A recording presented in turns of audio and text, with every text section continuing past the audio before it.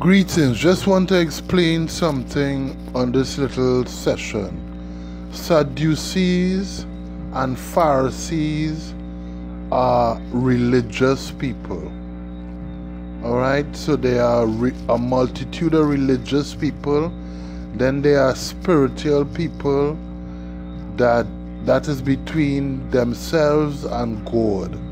So they have all these different people in the world. They have um, rationalists that believe in the Old Testament only, and some people believe in the Old and the New Testament, and some people believe in the New Testament because it's Anno Domini now after Christ descended. That is how you know that people are baptized and all these things. Peace. Akenzwa, YouTube Music.